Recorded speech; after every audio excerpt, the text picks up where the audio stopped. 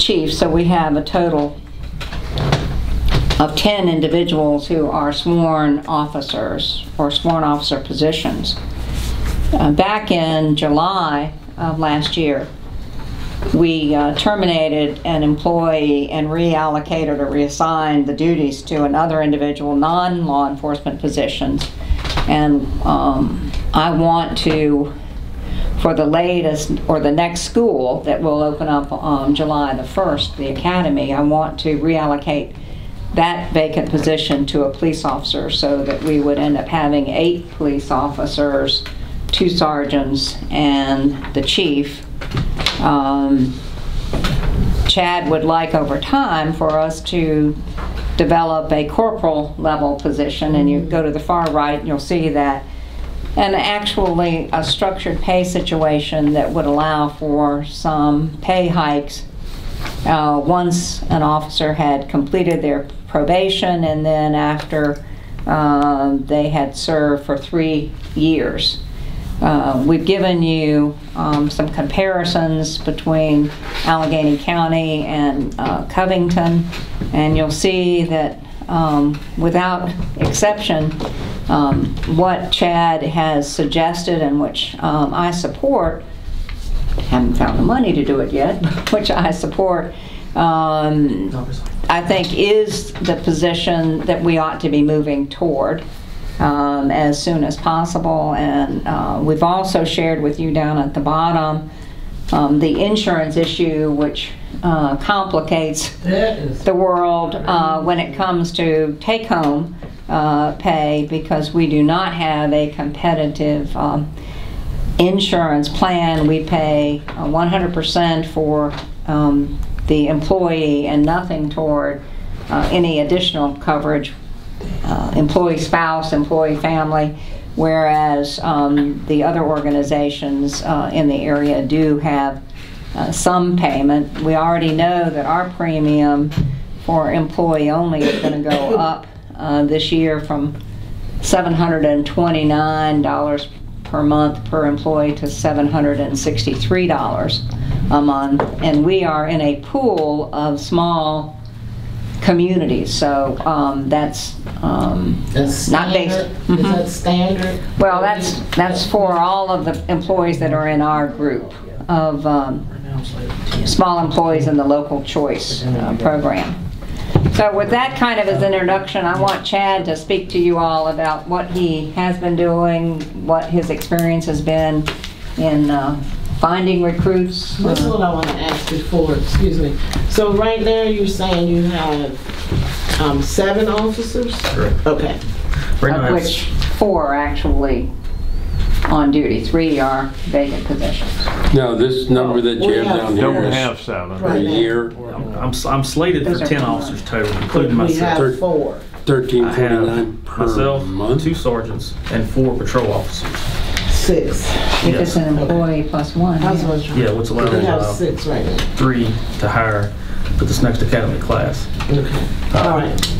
This has been an ongoing issue long before I've gotten here. Oh, I know, Um, I know. Pretty much Clifton Forge Police Department has been a training ground for law enforcement officers to come here, get certified, leave, and go on. Um, As you can tell by the chart here, they get state certified, they can go anywhere within the state. Mhm. So why wouldn't they go somewhere else as of Covington or the sheriff's office, when as soon as you leave, you're getting a four thousand dollar increase? We lost one to Douthat State Park. There's been officers that's left here to go to Douthat State Yeah. Park, the sheriff's office, uh, Botetourt County Sheriff's Office, that's where the, uh, the current one's going to.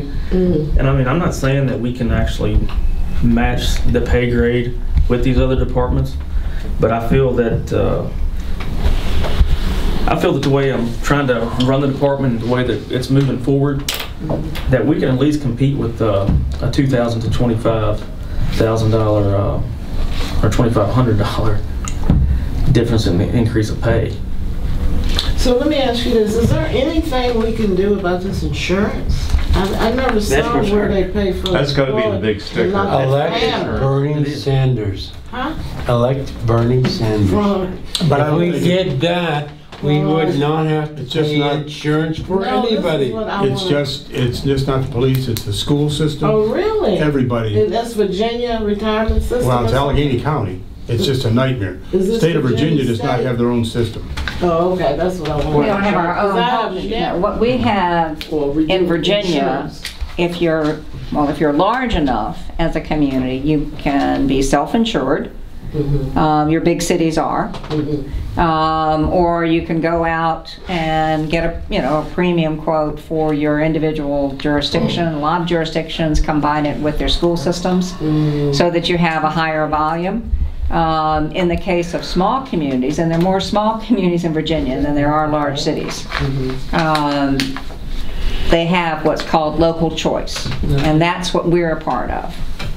And as a local choice participant, some years we have zero increase in our premium because it's based upon the experience of all of those small jurisdictions that are part of it. Um, last year we had an increase. They've already told us, um, as I just reported to you, what the increase will be uh, for the coming year. And we run July the 1st through June the 30th.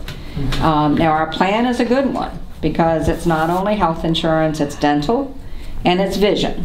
Well, it's good if Yeah. it's just you, but if it's your wife or Absolutely. your You're absolutely children, right. that's crazy. We pay all of the employees. Yeah, That's only, only though. And so we're paying, do you know, right now, we're paying $729 a month for every employee to have health insurance. Mm. They gotta pay a The sheriff's office, if you can see in the county, pays four hundred and twenty-five dollars a month for a family plan. They got a good And that's the company. That's a exact, that's the good- exact insurance that the town has. No, It's the same town, that's the same insurance that the town Same covers, pretty company. but sure. we just don't have, we don't pay into it like the county. like the I don't sheriff. think they're in local choice. I'd have to check on that, but I was pretty sure it was. Now, is this, where is this thirteen, I might be is wrong that on that. what, a month? Yes, yes. That's crazy. yes, it is. That'd be like the employee and his wife. That is crazy to me. Okay, sorry, Chick. And just to give you an example, I've got, I mean, if you look, a lot of these uh, comparisons, you'll see that after a new hire completes a one-year uh, probation period, they get bumped up. I've got an officer that's been here four years and is making a thousand dollars more than he was when he started. Uh, One officer has been in a sergeant's position going on approximately 10, 10 years. And he is in just barely above the Covington Police Department after uh, one-year probation has been complete. So, I mean, they're completing their contract period, which most contract periods last three years, and are making $10,000 more than Clifton Forge officers are that have been here for that period of time. So, I mean, can I compete with that? No, no, Absolutely no, not. no, Not when it comes to the dollar, so. Sure. And as far as the job itself, uh, Darlene was right. I mean, you just don't get people knocking down the doors to be in law enforcement, but the ones that you do, you want to keep. Uh, since I've been here, what's my year mark will be March the 1st, I've had officers shot at, knives pulled on them, assaulted, and other agencies are getting paid uh, six to ten thousand dollars more for doing the same job.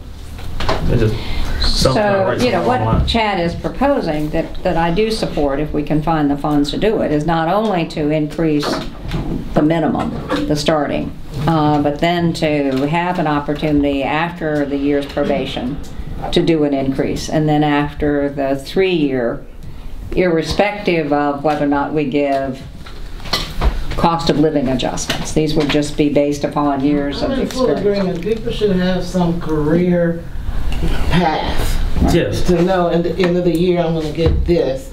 I, I'm, I'm in full agreement with you, but you gotta figure out where it's coming from, I guess.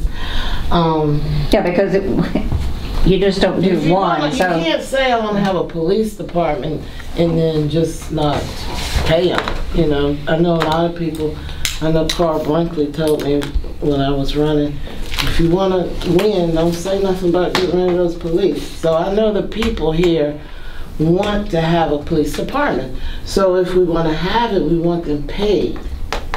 And um, I, I'm in the full agreement, so. Yeah, I think though that the insurance thing is something that definitely needs to be. That insurance You got, is really. because you know, you can look at it, whatever you want to raise the salary to, and a person's looking at that Yeah. big outlay personally, You I think any one of us 30,000, shudders that's at that. So Chad, do you have any, um, suggestions for that?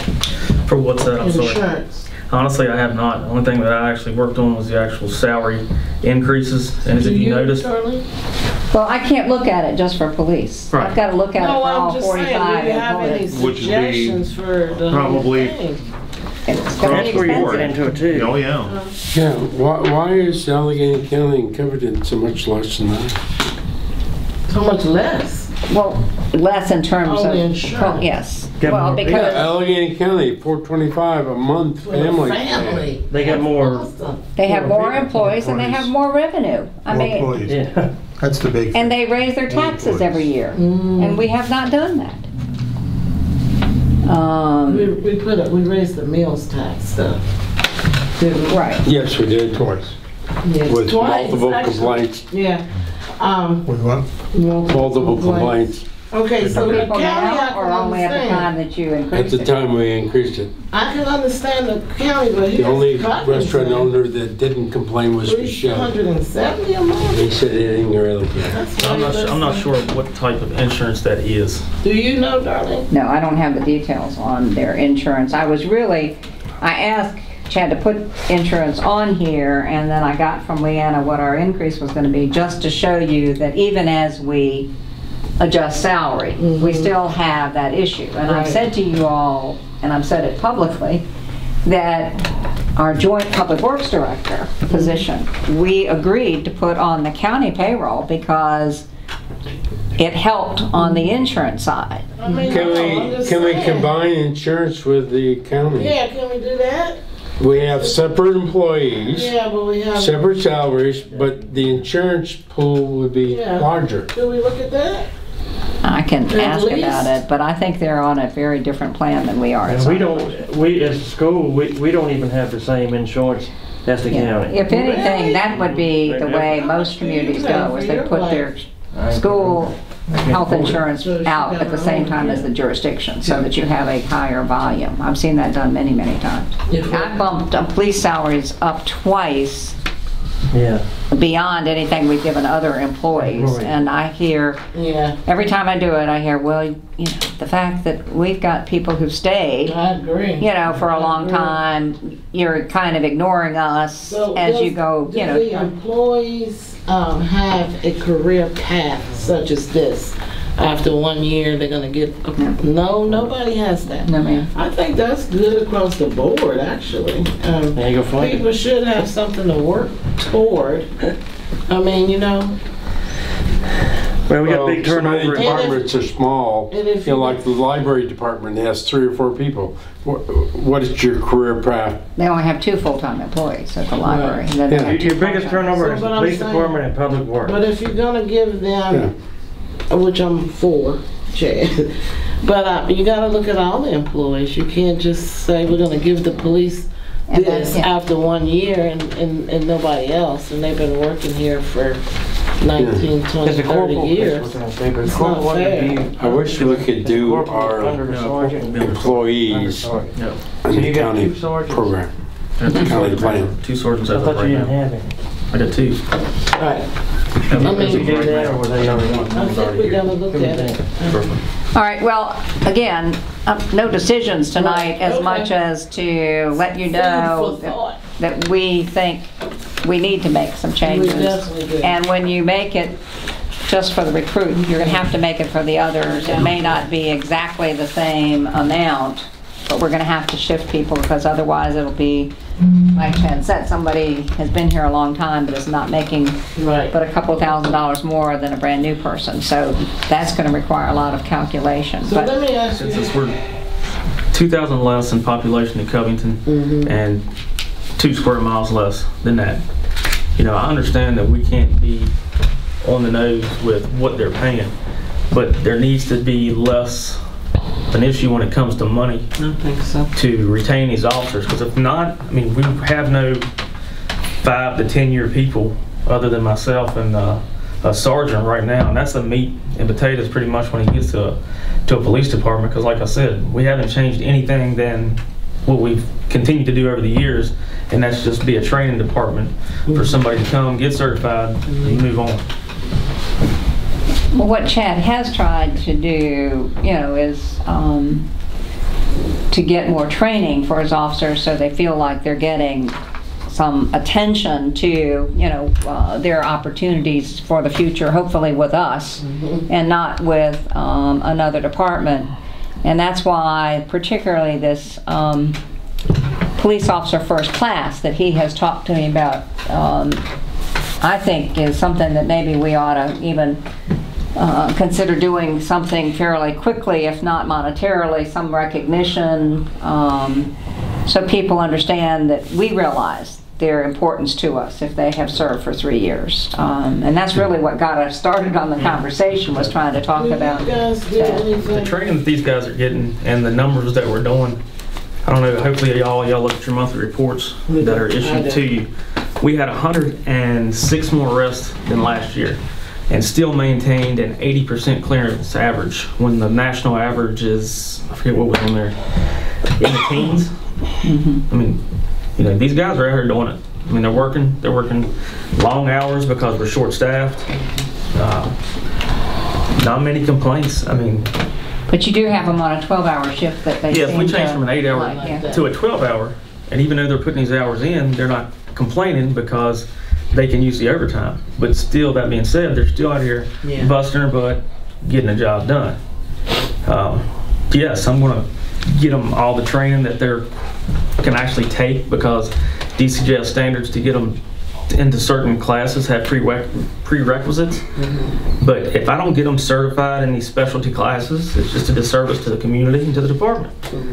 You know, but if it, if it's a feel-good thing for them, so be it. But at the end game, you know, it's better for the community. I'm doing this, but when it comes to retention, I'll do my part, but when it comes to the budget, that's, uh, or the salaries, it's kinda Another issue. out here, so. That's on us. Yeah. Don't train them too well because you don't need them all to leave.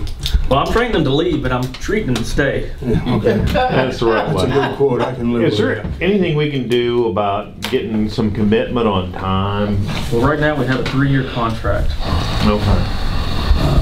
The contract starts after they attend and graduate successfully the basic police academy and finish out their FTO program. The two officers that we just sworn in last council meeting, they had just started their uh, contract term or their probation period. Their probation is still one-year probation, their contract term is three years. And it started the day they finished their FTO program. Well, if they, Right now, as I said, we do have three vacant positions that uh, Chad will be uh, recruiting and interviewing and selecting for, and I want to put a fourth one uh, to that with the reallocation of that position that's been vacant since last July, that was an administrative uh, position. It requires us to put a little bit more money to it, four or five thousand dollars, but he needs that additional officer.